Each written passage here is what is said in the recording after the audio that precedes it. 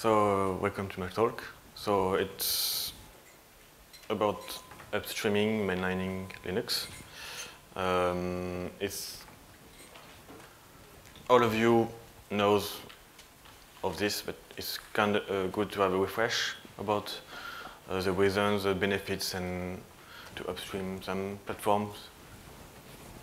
Okay, so uh, the talk will be like in different way, like a question and answers to change the uh, traditional talk. So I will answer to the main questions, why, how, how long, how much does it take, and the benefits of upstreaming and mainlining platform supports. Okay. So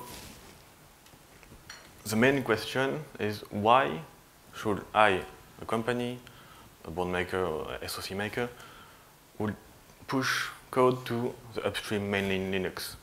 It's a good question because it's a long question since the start of Linux and also always the same answers. It has been answered a lot and it's obvious.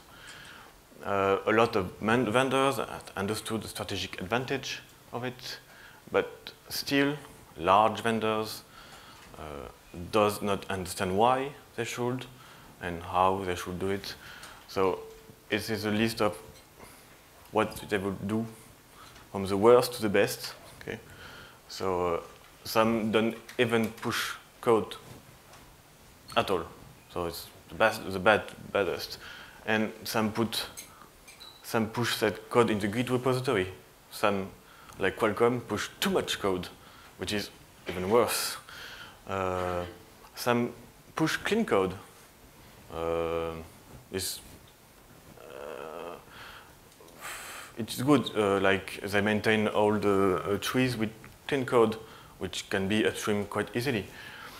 And some push upstream, which is great, and some have directly a real upstream initiative and real workflows to, to maintain their product with mainline kernel.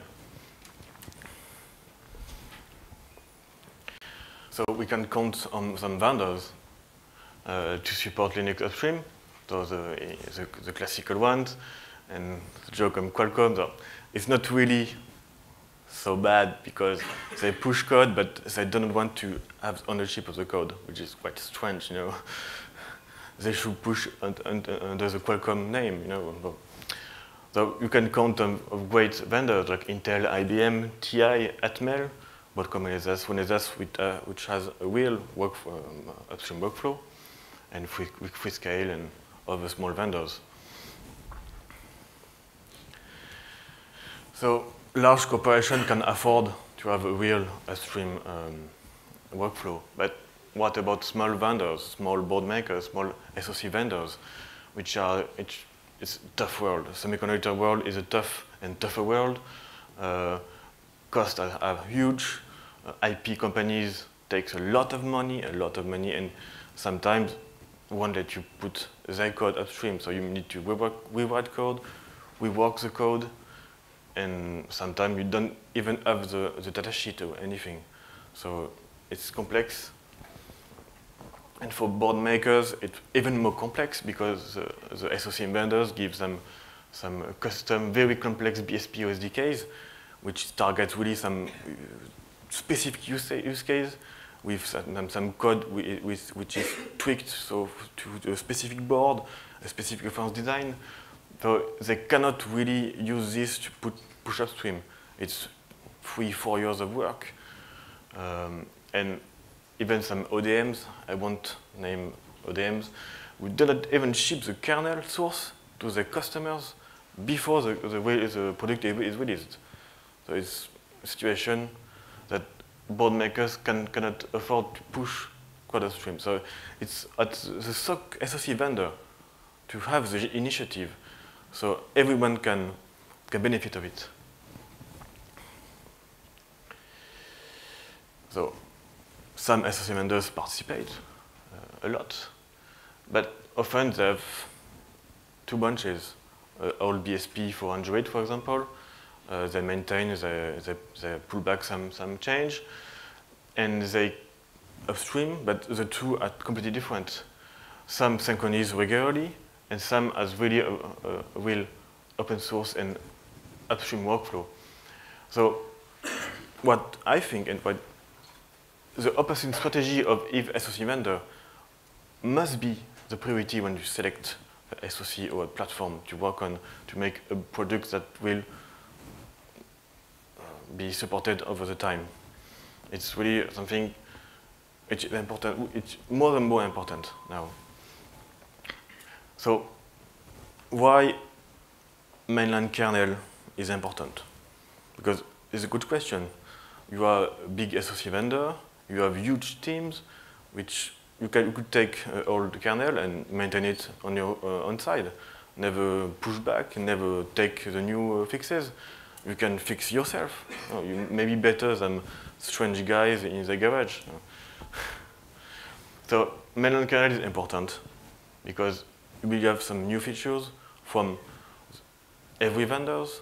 Every vendor participates at the kernel, push a new network features, new USB drivers. You have performance and, but not always, bug fixes and security features, features, and you can improve the stability and improve the, the features of your product over the time, especially if you have want a high-end product and you want it to be supported really over the time.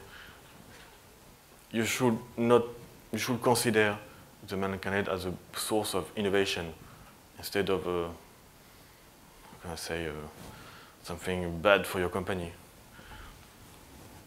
So making project, project is complex, really complex. And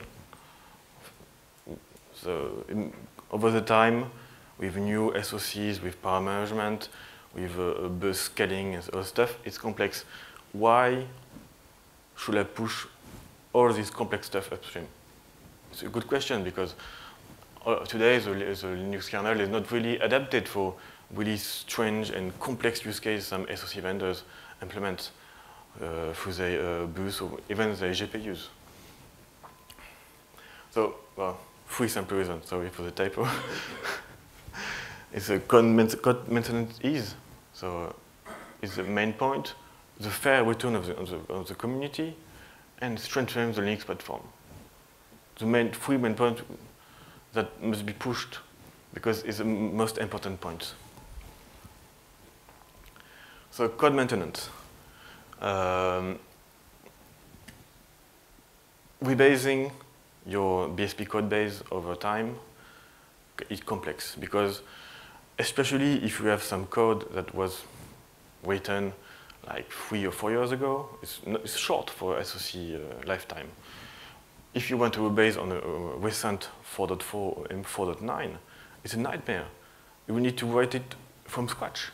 So if you have even the, the minimal support, you will continue, we keep the kernel evolution upstream and you will reduce completely your, your time and you will gain money and gain time. It's something all vendors should, should, uh, should think of because uh, for reporting will be really simple, and you can do it regularly. So the fair remote uh, return of the community, so this seems like communist or strange concept, but it's because you need to participate and keep Linux what it is. Which is it's free, free as in beer, it's powerful, and you have industrial grade uh, operating system. You come from the small IoT device to the huge data center with the same code base. Code base. And what are the alternatives? What are, what are the non-free alternatives? QNX, Windows NT. It's huge, expensive. You won't, you won't have the liberty to port it on your SoC, on your board. You won't, you won't have uh, a new uh, frameworks like Linux has. You will need to hack to make it work correctly, and you will pay a lot a lot more than if you push back and you have a real uh, upstream workflow initiative. Well, I usually make a point, uh, something like the same basically applies to standard uh, organizations. So the, the, same reason why you are a member of IEEE, for example, or ISO. That's the same reason why you should contribute code to Linux. Mm. Uh, because, and it's a special problem for small companies to see sometimes, because big companies understand that the best way to predict the future is to build it, I, basically to just create it. Uh, whereas small companies sometimes have uh, the idea that they are like holding on to the tail of the market and just running behind like this. Big companies don't think like that. They think like the market is going to go over there, so I'm going to build an eight-line highway to that future that I want. And um, it's a little bit of big company, small company Yeah. thing that comes into the picture here. But they still will benefit the same, same thing. There's more benefit in this than working in standard organizations, I would say. Yeah. For small companies. So the, the, the third point is to strengthen the Linux platform. It's vendor con- contribution is the key of what makes Linux it is today. It's diversity, it's stability, and if how can I say the great amount of diversity platform they support strengthens the, the frameworks, strengthens the code, stabilize the code, and enhance portability. So you know, if you continue to contribute uh, very diverse SOC, diverse platform, you know you will need you will need less work to support some very different device in the future. So and our uh, all SOC design are completely different. Vendors make sure their own SOC is with, different, and it's good for the for the, for the code base because you need very good diversity to support every every um, every possibility. Like maybe like we had, we had in the pin control uh, uh, and the clock framework today, they were made to support every every SOC, even the strangest SOC, and because we have some example, we had example from Samsung, Renesas, which implement completely different all the all the support. So about the upstream workflow, it's a good question because for a big company, even even a small company, how should I organize my workflow, my my my, um, my team to work with uh, mainline Linux because mainline Linux is moving on its own way. There is no technical committee, board, or anything. We decide what will be supported in the releases. So how to simply do it and what are the pros and cons of each strategy vendors uses today. So I identified really three manners to do. So the, the classical way, uh, the classical vendors use is to have separate trees, like TI Wetmail. They support the 3.x kernel for customers. They take back code, they uh, move the BSP forward on the old and stable code base. But they push some drivers upstream because some, some special clients or some big clients want mainline. So they do this. The other strategy is to is really similar, but they rebase regularly on a new kernel. So Qualcomm does this for the second one. Uh, I know they will maybe uh, rebase on the 4.4 nearly, but they still have a lot of 3.4, 3.10, 3.18 kernels which are maintained. And the last one, which is the best one, which the most costly one, is the real upstream workflow, where you really synchronize with, with upstream in mainline, and your target if you want to the two trees to be the most similar possible at, at, at end. So for the two, two first one strategies, you have the mainline with the versions, and you have the vendor BSP tree, which evolves on, in, on its own path. So you upstream some, sometimes some code, and sometimes you decide, oh, 4.9 is great, I will take 4.9. And you cannot rebase because the difference be between the two uh, BSP are so huge. You need to write a new version completely. Uh, Qualcomm, for example, uh, between the, the, the um, for the 4.10 and for the 4.14, they write under everything need everything because they, they switch from uh, all the Arch ARM Mac, uh, Mac stuff to the Dev And they need, they need to write everything. So it's a huge effort. And only big, big SOC vendors can do this. And small SOC vendors will stick on the old uh, uh, kernel for all time. So yes, the BSP is stable, right? Uh, mainline kernel will have, will have support, good support, but very limited support. Uh, some clients will be able to use mainline for their product with limited support, but they can take uh, push back some code from the BSP. But the BSP will become very old and lack some really secure, secure features and some network features or USB features. Uh, rebasing on new lantern will be uh, huge work. And backporting bugs and security will become harder and harder. Uh, along the, the, the can evolve, you will have new frameworks, new stuff. You, we will deprecate some frameworks. So, and backporting will be harder and harder well. So the first strategy, which is more complex, but you still have the mainline kernel will evolve, and you have the, your stable long-term trees.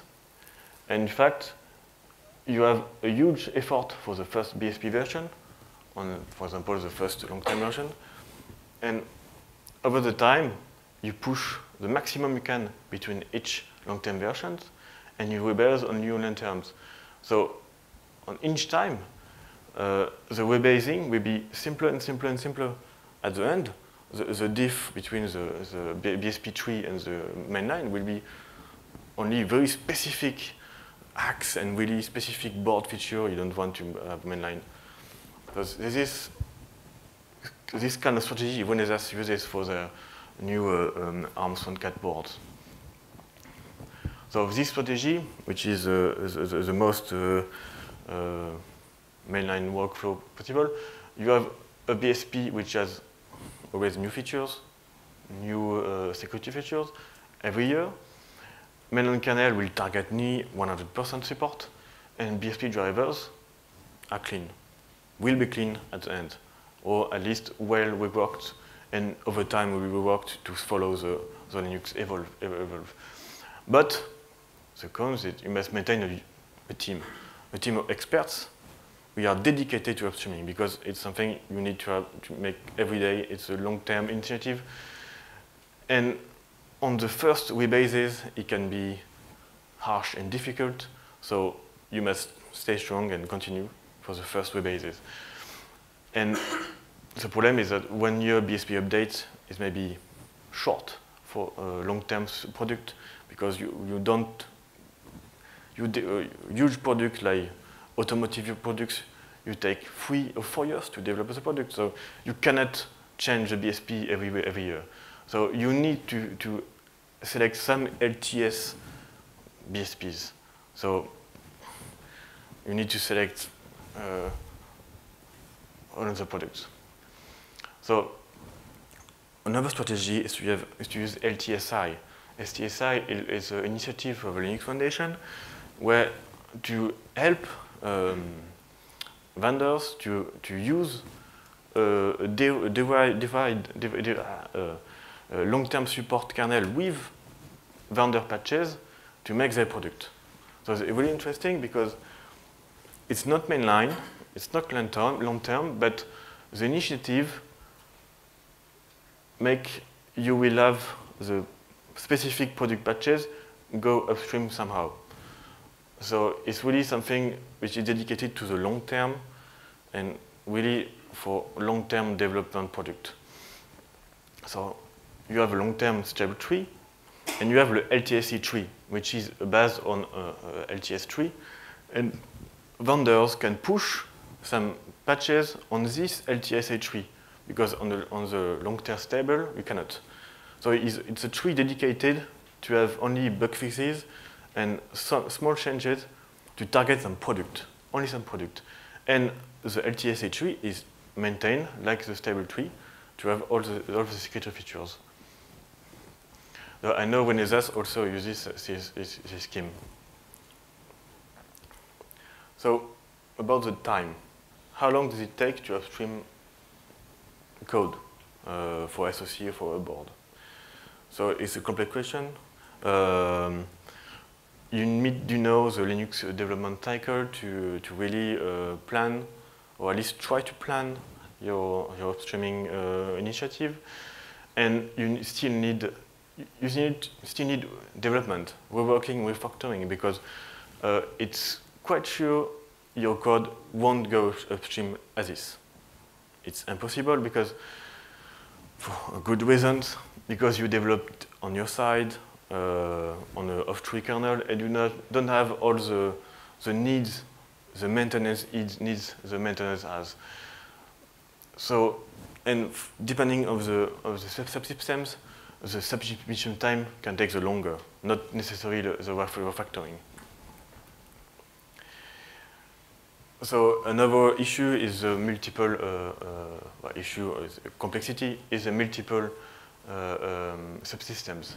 Um, how the Linux uh, development has evolved is that every subsystem maintainer is in charge of its own uh, subsystem.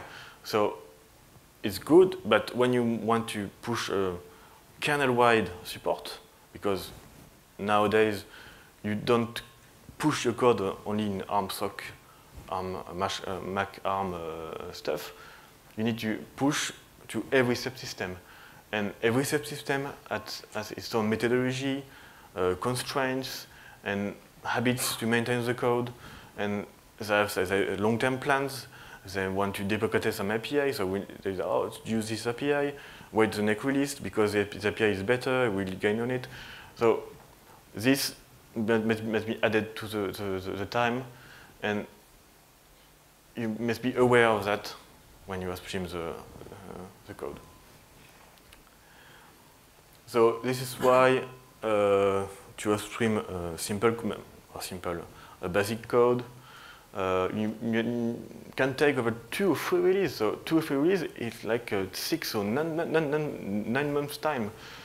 So this must be known, and when you know this, you can prepare better your, your, your code base to be upstreamed. And the initial support is the most frustrating because you, you have some drivers that depend on the drivers, like a lot of drivers depend on pin control, on clock, on anything, and you need to have the basic support before pushing anything else.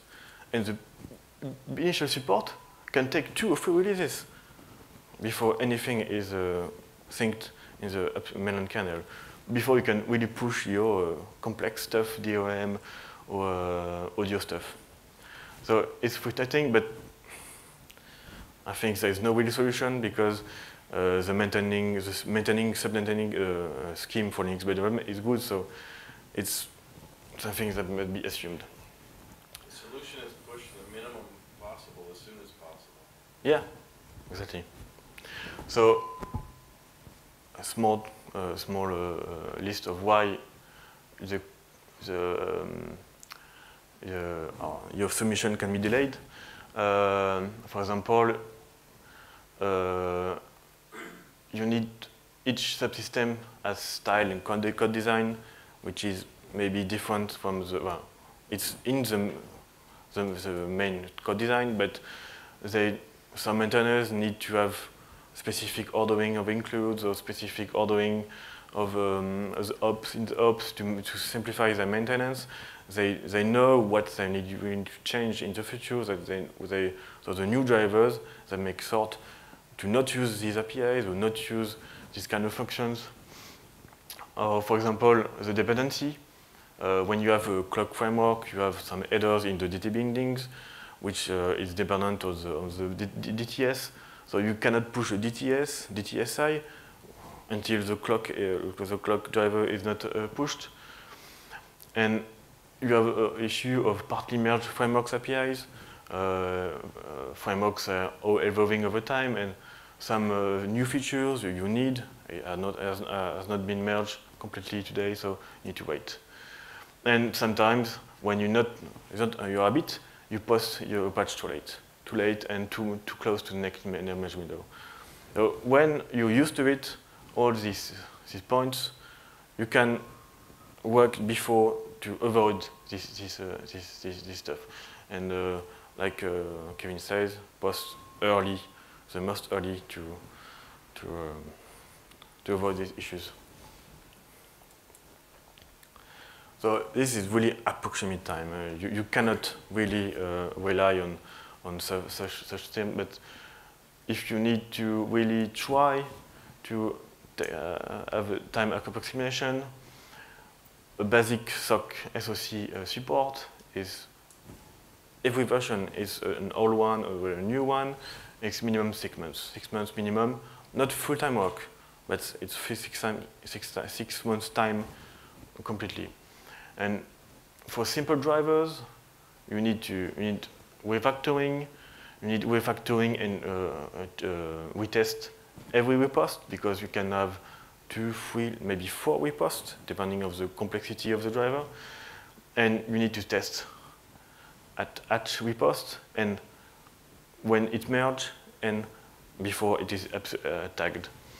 So for really complex drivers like DRM, SATA, audio, or USB, it's much longer because you really need to go in the code and maybe DRM or audio drivers are, are really big drivers and you really need to refactor it correctly and if, you, if it takes some time, a lot of time, and you will not need to have a lot of reposts. But some, some subsystems like DRM um, has kind of meritocracy systems where to avoid these times, they along uh, you push some code, you, are, you can have, have, commit access to the Git. So it's not completely true for each subsystem. So if we want really global times estimations for a full SOC, uh, for headless without any power management, no graphic, nothing, it's six to nine, nine months uh, one, one person will be nearly 100% for this time, time scale. For a very complex SoC, uh, video, PM, DSP, audio modem, etc., like the, the Qualcomm SoCs, uh, 18 months is the low estimation. It can be, it can take to maybe two or three years to have everything pushed because a lot of frameworks are missing actually in the uh, mainline kernel. So you need to push the framework and then push your support for your SOC and so for your SOC family.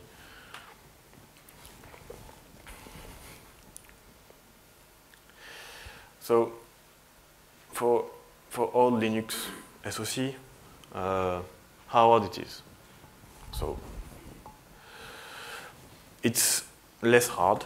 It's still hard, but less hard. uh, Device tree migration for nearly all uh, architecture, even x86, uh, changes the way you up upstream code. Uh, it's simplified, but more complex. So but all these frameworks that be introduced in the last uh, four, four, to four, four to five years help a lot. So the clock framework, the pin control, GPOD, GPOgenic interrupt, uh, with DRM, SOC, and so on, really helps to simplify and you can you can really divide your, your upstreaming in subsystems. So you really you can tell, oh, I will push this this team will push DRM, and don't don't uh, talk don't uh, be in charge of other frameworks. So cutting is good. So so for the, the people who don't know what the V3 magic does. And you don't have all these ugly code in uh, Arch, ARM, Mac, uh, uh, directories, because before Java 3, vendors was pushing everything here, even uh, some uh, some drivers here, and uh, it was hell. So it's nearly finished. I think the, all, the, only platform supporting this as the, as the old vExpress ARM platform. So maybe it's a shame because it's kind of an example for ARM to, to have a JavaScript stop for, for the old SOC. But I will fix this. Hopefully. I have the machine now, so fix it. Hopefully it will be because it's a shame for me, I think. And uh, so it's magical with Device Tree, or magical. you, you transform all the C code in Device Tree code, but it's simpler to maintain. And for, for new ARM 32-bit uh, support, you only have really the SMP support, which is when you need some C and uh, is really specific to ARM. And ARM64 is gone forever. So there will never be any uh, machine uh, directory in SMP because of the new uh, firmware interfaces. So it's bad because you, you hide some stuff in the firmware, but it's good because the code is cleaner, a lot cleaner. So where does the code go? In the base tree and in the, the framework drivers. And everything, every, all these uh, drivers are coordinated by the JavaScript nodes. Or you, can, you have the same XCC with the uh, SCPI. Uh, but is it hard? Yes.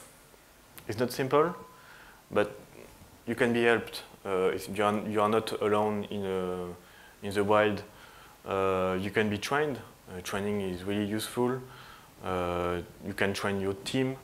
Uh, there's specific training for upstreaming available, and you can be helped by a company, like our company, Free Electron Pengutronix, maybe Linaro. They can help you help your team to upstream. They can upstream part of it and they help you by reviewing your code and uh, showing you which, what is good, what is bad. And like Greg KH explains, the community wants to work with the SOC vendors and they do, they do not want anymore to use lawyers to, to do the stuff. So discussing with the Linux Foundation can help a lot can, can have money, can have resources. So it's something that is better and better over the years. So what about the, the benefits? So the benefits, uh, so it's a summary. Uh, code quality. Code quality is increased because you have external review. Whatever the maintainer is, you have external review, which is good for your code the best you can have is um, something was is not linked to any uh, to your organization to review your code and can detect some bad uh, bad uh, architecture. They minimize the cost maintenance, the cost reduction, uh, so you can concentrate on uh, other things.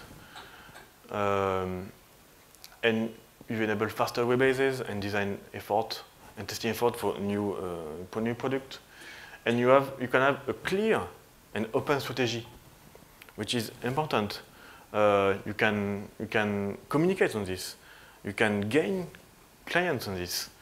Uh, and you, you, you don't uh, rely on obscure and de badly developed code from guys who are not in the company anymore, which is the worst. And you can have customer fidelity, which is something uh, is is there's no, no cost. Fidelity is, is no cost. Uh, and you can promote the company in the technical, technical sphere. So you can go to, to, to, to, to um, conferences, you can go to meetings and say, I have a clear open source strategy and I want some talented developers to help me develop the real upstream and open source strategy for me. And money. Money is the key factor for huge SOC uh, vendors. And when you minimize the long-term uh, R&D cost, everybody benefits of it. So uh, I'm not sure Yoda says it, but uh, I think he will say it, actually.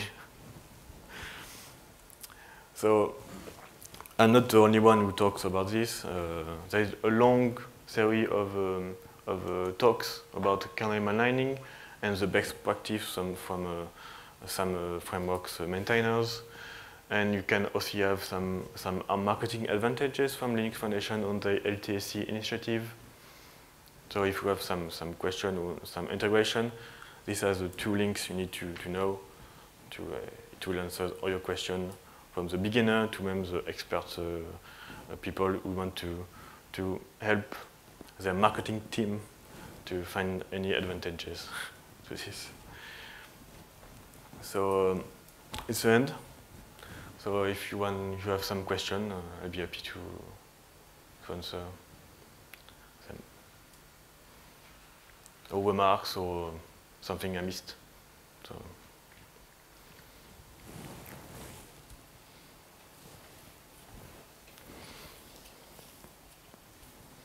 Okay.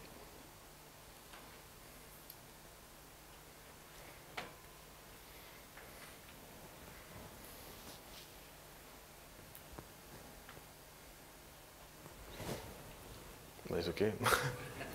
I say more?